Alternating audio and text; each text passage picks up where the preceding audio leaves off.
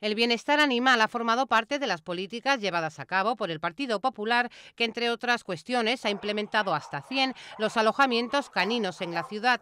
Además, el programa de esterilización de gatos en las colonias ha alcanzado los 1.500 felinos, destacando también la gratuidad de la vacuna antirrábica para todos los animales de compañía.